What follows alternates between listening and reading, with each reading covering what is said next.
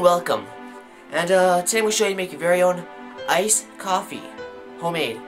Like you see in Tim Hortons. You ever been to Hortons and seen had an iced coffee?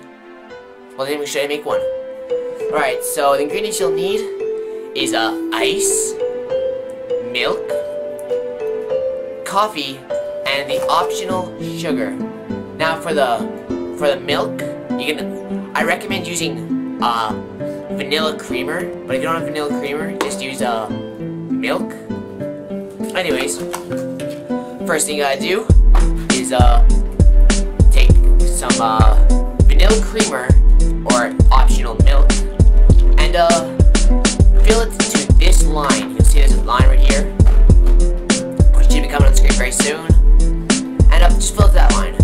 Alright, next step, uh,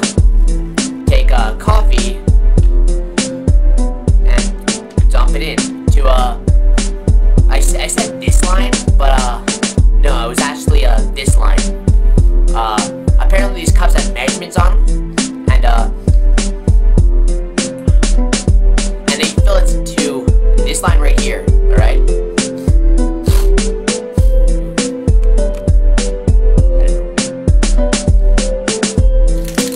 Next up, put in some ice. Now, I only put three because I messed up at the coffee parts. But, um, uh, I recommend a lot of ice. Like, probably a whole tray. Because, if not, it's going to be warm and the ice is just going to melt. So, you want a full tray of ice.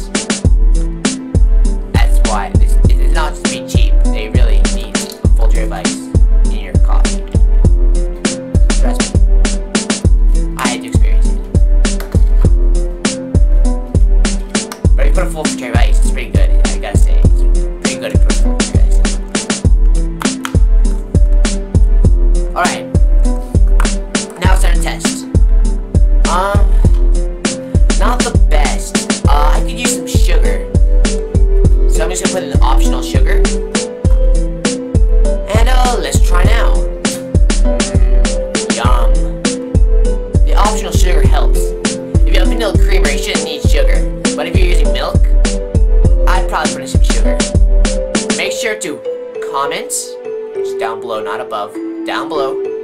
Rate, which is again down below. And subscribe, which is above. Or if I'm my channel, down below again. Well, that's above too, so. So base, comment, rate, subscribe. Or comment, rate, subscribe. And, uh.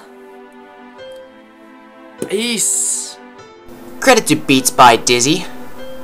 Also, check out Windows Netbook Helper. And thank you UK Tango Man for the intro.